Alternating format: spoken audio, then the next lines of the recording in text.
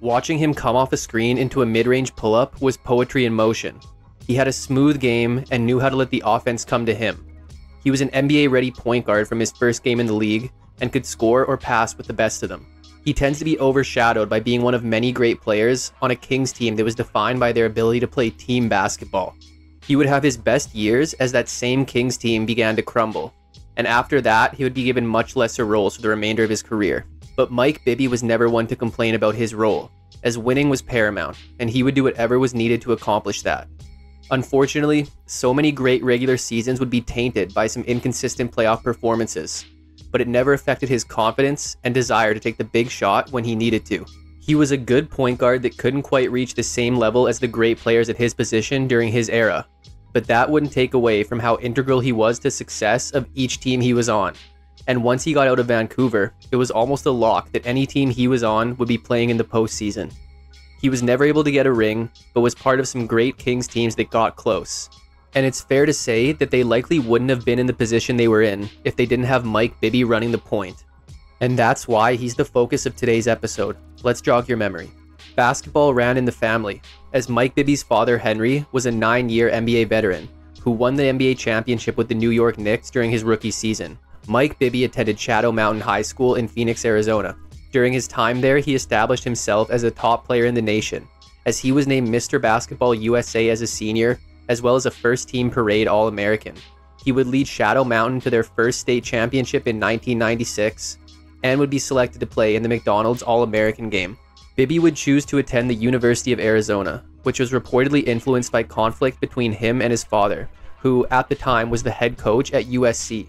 So Bibby would play for Hall of Fame coach Lute Olson. He joined a great Wildcats team featuring future NBA talent like Jason Terry and Michael Dickerson, as well as Miles Simon and AJ Bramlett. The Wildcats were in need of a point guard after losing senior Reggie Geary, and Bibby would fill that void immediately. He came in as a freshman starter and would finish third in scoring, second in steals, and first in assists. The Wildcats had no issues putting the ball in the basket, as they had the third ranked scoring offense in the nation, but their defense would be their weakness, as they had the 226th ranked scoring defense. The regular season would have ups and downs as they would lose to five unranked teams, including USC, coached by Bibby's father. And they really struggled in conference play as they went just 11 and 7 to finish 5th in the Pac-10. But their 25 and 9 record still had them ranked 15th in the nation at season's end as they entered the tournament as a 4 seed. They would win their first round matchup in a comeback versus South Alabama with Bibby putting up 13 points, they would orchestrate another comeback to defeat Charleston in round two, as Bibby put up 18 points. The Sweet 16 brought one seed Kansas, with Raef LaFrentz and Paul Pierce, and Arizona pulled off the upset, with Bibby putting up a team high 21 points and 5 assists. The Elite Eight would be another close overtime win versus Providence, as Bibby would have 17 points and 4 assists. And the Final Four brought another one seed in North Carolina, led by Vince Carter and Antawn Jamison but Arizona would pull off another upset and beat their second top seeded team of the tourney, with Bibby putting up 20 points with six made threes.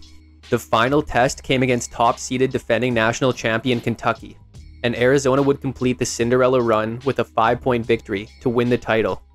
Bibby would play well with 19 points, 9 rebounds, 4 assists, and 3 steals, but would commit 8 turnovers. But the Wildcats had won the national championship, and had done so by becoming the first and only team to defeat three one seeds. And for his freshman season, Bibby would average about 13 and a half points, 3 rebounds, 5 assists, and 2 steals per game, as he was named Pac 10 Freshman of the Year. Going into 1998, there was no reason to believe Arizona couldn't repeat, as they were bringing back all five starters and sixth man Jason Terry. Arizona began the year ranked number one but would lose to number 2 ranked Kansas and number 3 ranked Duke within the first six games of the year. Bibby had improved his play as he would be second on the team in scoring and first in assists and steals. After 10 games, the Wildcats were sitting at 7 and 3, but would go on a 19 game win streak before losing to USC in the second last game of the year. But they would end the season with a win to finish ranked number 2 in the nation with a 27 4 record and would enter the tournament as a 1 seed. The Wildcats ran through the first two rounds versus Nicholls State and Illinois State, with Bibby averaging 19 points and 5 assists across the first two rounds. The Sweet 16 would be a closer game versus Maryland, which Arizona would win behind Bibby's game high 26 points on 7 of 12 from the field. but their title defense came to an end in the Elite Eight versus Utah, as Bibby had one of his worst games as a Wildcat, putting up just 7 points on 3 of 15 shooting in a blowout loss. As Arizona's top three scorers from the regular season scored a combined 19 points, with none of them shooting over 20%. So Bibby's sophomore season ended with him averaging about 17 points, 3 rebounds, 5.5 assists, and 2.5 steals, as he would be named the Pac 10 Player of the Year and a consensus first team All American. Arizona would be losing two starters to graduation, and with Bibby having done everything he needed to prove himself, he would declare for the 1998 draft as an NBA ready point guard who could both score and distribute while possessing a great shooting stroke, as there was even a possibility he could go first overall. With the second pick in the 1998 NBA draft, the Vancouver Grizzlies select Mike Bibby from the University of Arizona. Well, number two isn't bad, and Bibby would be going across the border to a Vancouver Grizzlies team who really needed to start making strides, as they were now going into their fourth year of existence. Bibby would join the Grizzlies frontcourt duo of Bryant Big Country Reeves and Shareef Abdur-Rahim, and would again be a day one starter. The Grizzlies were coming off their best season in their short history, but that would still be a season with only 19 wins. And although it would be a 50 game season due to the lockout, it was hoped they could at least match that win total. But they wouldn't even be able to get half the wins, as they finished 8 and 42. Bibby would have a great rookie season as he would finish fourth among rookies in scoring and first in assists, and would be the Grizzlies' second leading scorer behind Abdur-Rahim, while leading the team in assists and steals. He would hit double figure scoring in 41 games and double digit assists in 8 games, along with 6 double doubles.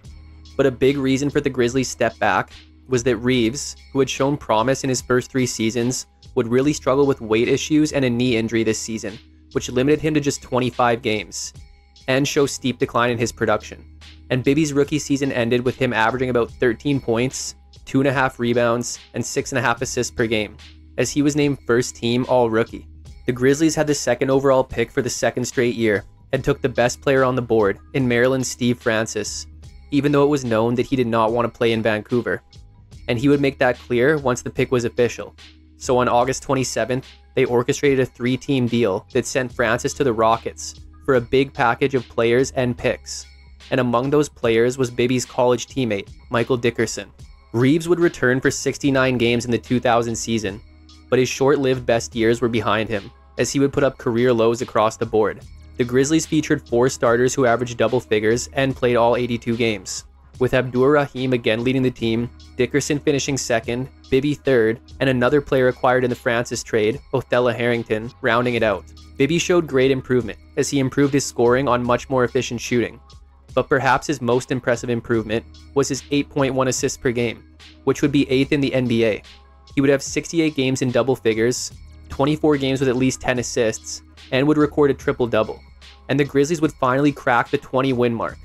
But their bottom five scoring offense only helped them reach 22 wins, as they would continue to be one of the league's worst teams. One highlight of Bibby's year was that his improved long range shooting got him a spot in the three point shootout, but he would be eliminated early. And his second season ended with him averaging about 14.5 points, 3.5 rebounds, and 8 assists per game. The Grizzlies would have the second overall pick for the third straight year and would select LSU's Stromile Swift, but he wouldn't have much of an impact this year. Reeves would play 75 games, but only start 48 of them, as he could no longer handle starter minutes, and would again put up less than 9 points per game. Abdur-Rahim, Dickerson, and Bibby would again be the team's top three players, while Harrington was traded to New York on January 30th for Erick Strickland and picks.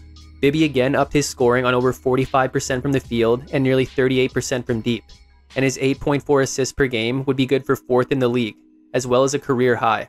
He would hit double figures in 70 games and have at least 10 assists in 23 games, including a career high 18 assists in an April 7th loss to Denver. The Grizzlies continued as a bottom 5 scoring offense and dropped to a bottom 5 scoring defense as well. They would make a one game improvement with 23 wins, but they were not making any progress. And on March 26th, the Grizzlies would apply to relocate to Memphis. And Bibby's season ended with him averaging about 16 points, 3.5 rebounds, and 8.5 assists per game. The Grizzlies were approved for relocation on July 3rd, but they would be starting their first season in Memphis looking like a much different team. About a week prior to the approval, on draft day, they traded Abdur Rahim to Atlanta. And on the same day, they would ship Bibby and Brent Price to Sacramento for Jason Williams and Nick Anderson. Williams had been a fan favorite in Sacramento with his exciting play, but with this came a lot of bad decisions, which the Kings felt were holding them back from reaching the next level, as they were coming off a 55 and 27 season where they were swept by the Lakers in the second round of the playoffs. Bibby joined a Kings team featuring star Chris Webber, along with starters Vlade Divac, Peja Stojakovic, and Doug Christie, as he would be the final piece to the greatest show on court starting five.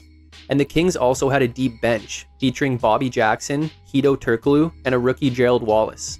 Bibby fit in perfectly with the Kings' motion offense and would be exactly what they needed at point guard, with his dual threat ability as a scorer and a passer, with a much better shooting stroke than Williams. Bibby would be third on the team in scoring, with all five starters putting up at least 11 points per game, as the Kings featured the second ranked scoring offense in the league. Bibby would still hit double figures in 67 games, however, would have just four games with at least 10 assists. But this drop was more due to the new offensive system he was in, under head coach Rick Adelman. Bibby's arrival would push the Kings to a new level, as they rattled off a 12 game win streak and went into the All Star break winning 18 of their last 21. They would have another 11 game win streak near the end of the year to finish with a league best 61 and 21 record. Bibby had an up and down first round series versus the Jazz, as he started off with 20 points in a game 1 win, then would have just 5 in a game 2 loss. He would respond with a game high 26 in a game 3 win, before putting up another 5 point performance in game 4, which the Kings still won to advance to the second round. Bibby would again start slow with 11 points on 4 of 12 shooting in a game 1 win versus Dallas, but would play much better for the remainder of the postseason. He would score at least 22 points in the next four games of the Kings' five game series defeat of Dallas, as he would finish as the team's second leading scorer and top distributor, while shooting over 54% from deep, as the Kings advanced to the Western Conference Finals versus the LA Lakers. However, the Kings had lost Peja Stojakovic to a sprained ankle in Game 3 versus Dallas, which would keep him out of the first four games of the conference finals as well. And even when he did return, his mobility was hindered, which severely affected his play. The Lakers won game one as Bibby struggled, shooting 7 of 21 from the field, but would then average 22 points over the next two games, which were both Kings wins. The Lakers would take game four to even the series, but then Bibby would respond in the clutch in game five, as he hit a shot to put the Kings up by one with less than 10 seconds left, which ended up being the game winner, as the Kings were going into game six with a chance to close out the series and make the finals. But then one of the most controversial games in NBA history occurred. Game 6 of the O2 Western Conference Finals is well known for the collection of head scratching calls and no calls. But the fourth quarter had the biggest discrepancy, as the Lakers would go to the free throw line 27 times in the quarter, with the Kings having 25 free throws all game. But even with this, the Kings kept it close and had just put themselves within a point with under 15 seconds left to play. But then Kobe Bryant would elbow Bibby across the face as he was trying to get open for an inbounds pass. Yet no foul would be called as they got the pass in, and the Kings had to foul, which allowed the Lakers to put the game out of reach and force a game 7. Bibby would have a great game 7 with a team high 29 points, but he would struggle from deep, going just 1 of 5, as the Lakers won by 6 points to eliminate the Kings, as their dream season had come to a shocking end. And Bibby's first season in Sacramento would see him average about 13.5 points, 3 rebounds, and 5 assists per game. The 03 Kings would run it back with all the key pieces from the year prior, and added veteran Jim Jackson early in the year. Bibby had signed a seven year extension in the offseason.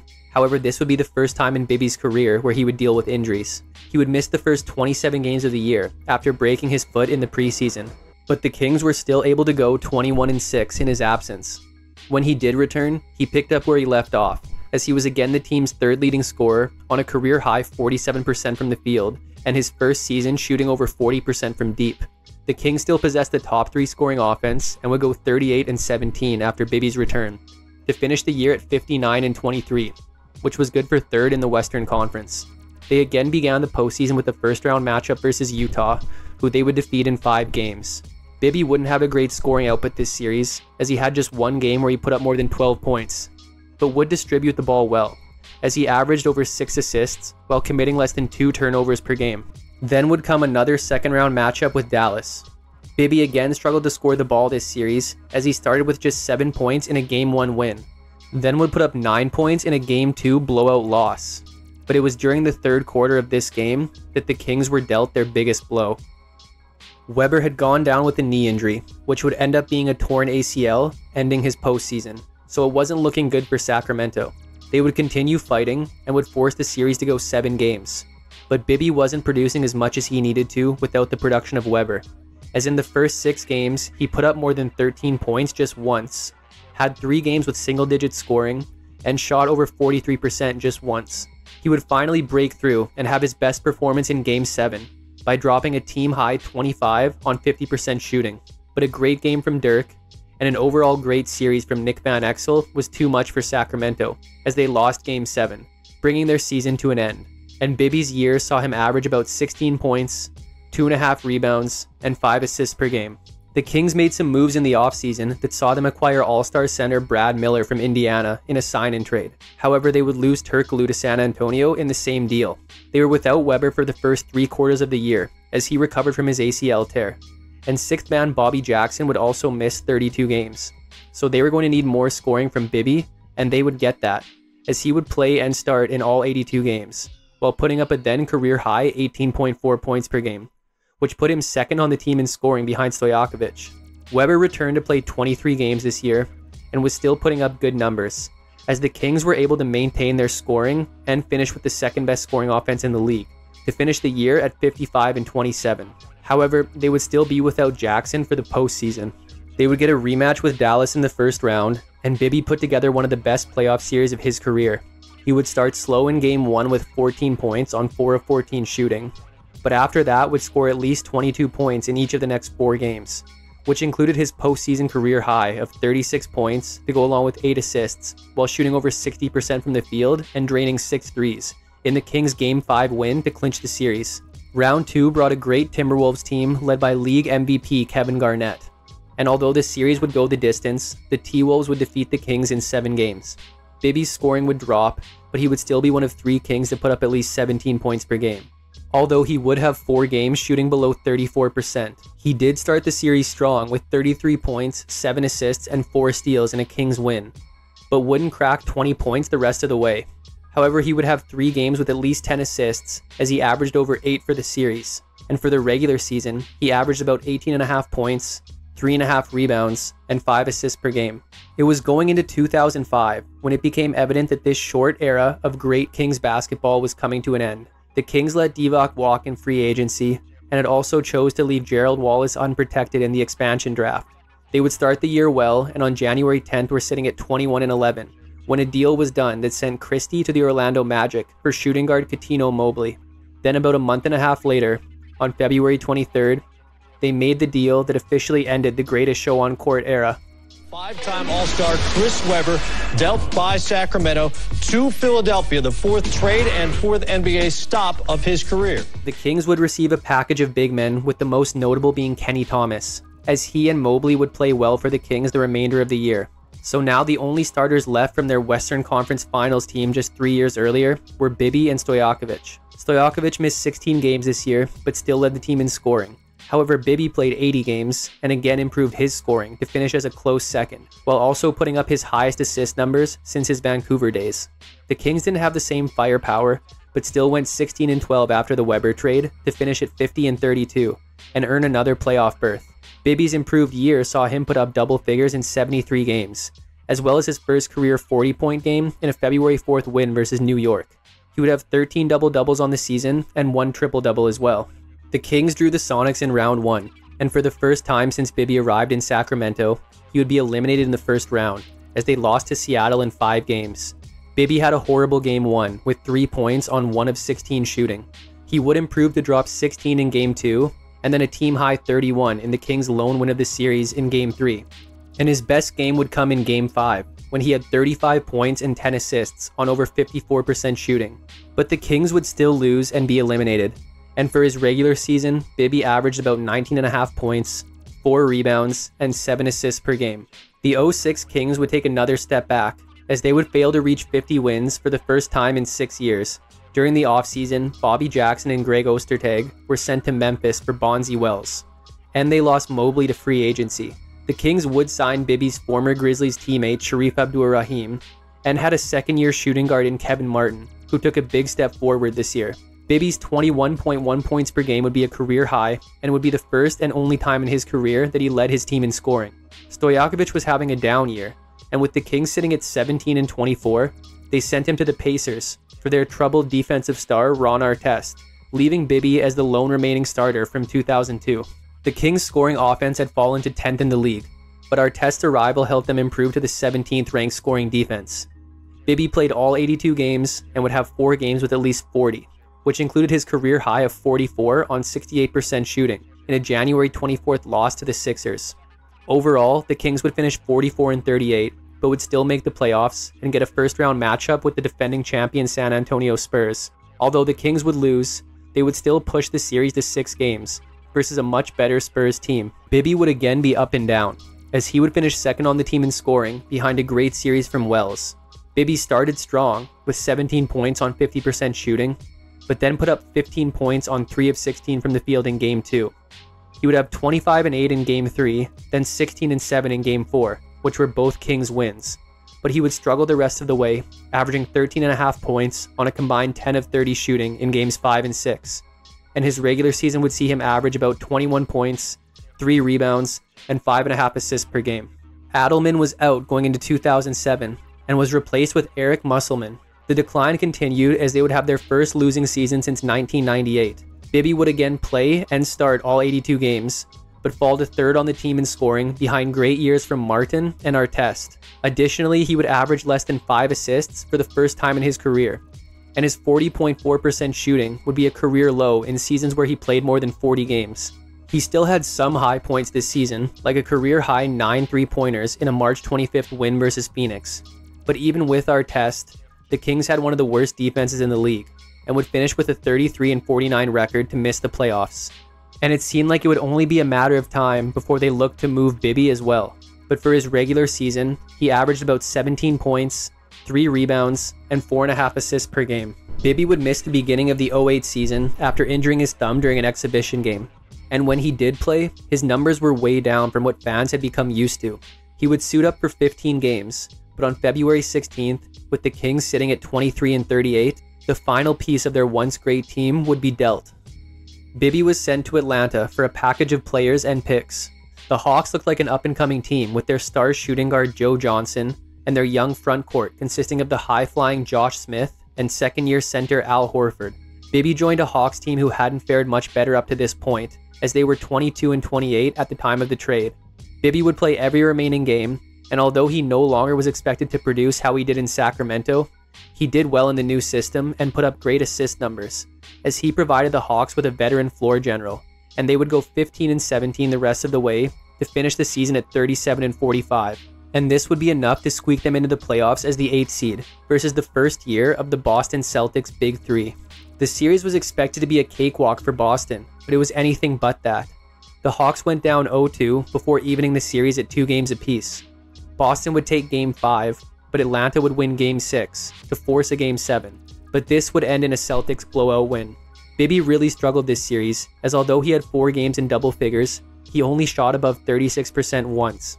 And his overall regular season ended with him averaging about 14 points, 3.5 rebounds, and 6 assists per game. Bibby's first full season in Atlanta would be much improved.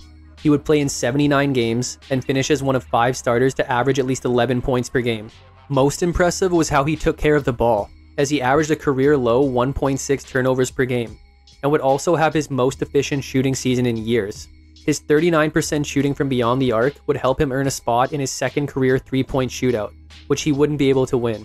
But the Hawks overall looked like a much better team and were able to make a 10 game improvement on the season prior to finish at 47 and 35. They would get a first round matchup with the league's top scorer in Dwyane Wade and the Miami Heat. This would be another tough seven game series, However, this time, the Hawks came out victorious. Bibby played one of his best postseason series in years, as he finished third on the team with nearly 15 points per game, and did so on over 47% from the field and over 53% from deep. Round 2 brought league MVP LeBron James and the Cleveland Cavaliers, and the Hawks had no answer for him, as they were swept in four games. Bibby would take a slight step back, as he put up just about 10 points on less than 44% shooting but would shoot over 55% from deep and commit less than two turnovers per game. And Bibby's first full season in Atlanta saw him average about 15 points, 3.5 rebounds, and 5 assists per game. 2010 again saw Bibby play and start at least 80 games, but he would receive over 7 less minutes and average single digit shot attempts for the first time in his career. And this translated to his first season, averaging less than 10 points and 4 assists per game. He shot less than 42% from the field, but was still a great deep threat at about 39%. The biggest addition the Hawks made was in acquiring Jamal Crawford in the offseason, who would win his first Sixth Man of the Year award while finishing second on the team in scoring. And even though Bibby had a lesser role, it was working for the Hawks, as they were one of the top teams in the East and would string together seven and six game winning streaks before the All Star break to be sitting at 33 and 15. And they needed this, as they would go just 17 and 17 the rest of the way, but still finish the year at 50 and 32 and get a first round matchup with Milwaukee. For the third straight year, Atlanta would have a seven game first round series, and Bibby's lesser offensive role helped him put in another efficient series, as he averaged about 11 points on 46% from the field and over 44% from deep, and would only commit 10 turnovers across the seven game series, which the Hawks would ultimately win. Round 2 brought the defending Eastern Conference champion Orlando Magic and Defensive Player of the Year Dwight Howard, and for the second straight season, they would be swept easily as they scored more than 85 points just once in the series. Orlando's defense shut down the entire Hawks team, and Bibby would be a starter, but receive less than 17 minutes per game, as he only put up 16 points throughout the entire series. And his regular season would end with him averaging about 9 points, 2.5 rebounds, and 4 assists per game. Bibby would be well traveled in 2011. He would begin the season as a starter with Atlanta and play 56 games, as he put up similar numbers to the year prior, but was shooting over 44% from deep. But then on February 23rd, Bibby was included in a trade to Washington. He would appear in just two games for the Wizards before agreeing to a buyout on February 28th, as he was hoping to join a contender. He would then sign with Miami and their Big Three on March 2nd for the remainder of the season. He would begin coming off the bench with Miami before becoming the starting point guard for the final 12 games of the season, as the Heat would finish 58 and 24. Bibby would remain the team starter throughout the playoffs, but was more of a spot up shooter and facilitator for the Big Three. Unfortunately, Bibby would struggle throughout the postseason, as he put up about 3 points while shooting less than 22% in Miami's first round defeat of Philly. Round 2 would be much of the same, as he would average about 3.5 points on less than 30% shooting in their defeat of Boston. The conference finals brought Chicago, and Bibby would contribute about 4 points per game, but would again shoot under 30%. Nonetheless, the Heat won and advanced to Bibby's first NBA Finals appearance, where he would be taking on a former Sacramento teammate. But it wouldn't end as he hoped, as Dallas defeated Miami in six games. Bibby showed slight improvement as he would put up about four points per game, but he would do so on his best shooting of the postseason at 35%. But sadly, Bibby would fall just short of a ring in a postseason he likely wishes he could have back. But for the regular season, he would play in 80 games, averaging about 8.5 points, two and a half rebounds, and three and a half assists per game. The Heat would elect not to re sign Bibby, and after the lockout, he would sign on with the Knicks, which were also the team who had drafted his father nearly 40 years earlier. Bibby would join players like Carmelo Anthony and Amar'e Stoudemire, but see limited time initially, as he would be a backup during the stretch known as Linsanity. But after Lin went down with an injury, Bibby would see more action as a backup to fellow veteran Baron Davis, as the Knicks finished 36 and 30 and drew the Heat in round 1. Bibby would come off the bench in the first four games, but would start game five after a serious knee injury suffered by Davis in game four. Bibby had a decent series, putting up about four points while shooting about 39% from the field and 41% from deep, but the Knicks would fall in five games. And Bibby's regular season would see him average about two and a half points, one and a half rebounds, and two assists per game. The Knicks chose not to re sign Bibby, and his career would come to an end. He would later spend some time in the Big Three, before transitioning into coaching. Mike Bibby's career tends to be overlooked as he could never quite get over the hump and dealt with inconsistency in the playoffs. He was a really good point guard who was overshadowed by the great point guards of his era. The Kings' face of the franchise was Chris Webber during their best team years, and Bibby's short run as their top player came during a period of decline. He was everything you wanted in a point guard and had no problem playing his role. He was exactly what the Kings needed to push them into the NBA's elite and maybe would have a ring if things would have gone differently. Although Bibby was never quite a star in the league, it is still surprising that he didn't garner at least one All Star selection during his best years. But he's not the type of player to dwell over that, as he cared about winning and showed that from his earliest days in the national spotlight. He's one of those players that you had to see to understand, as his numbers don't jump out at you. But his ability to flow in the offense and fearlessness in taking the big shot made him a coach's dream. His durability and consistency is an accomplishment in itself, as Mike Bibby quietly put together one of the great underrated careers. But that's it for today's episode on Mike Bibby. Hope you enjoyed it and make sure to subscribe for more videos like this one. If you like this video, check out this one on his Sacramento teammate, or this one on his brief teammate in New York. Thanks for watching and see you next time.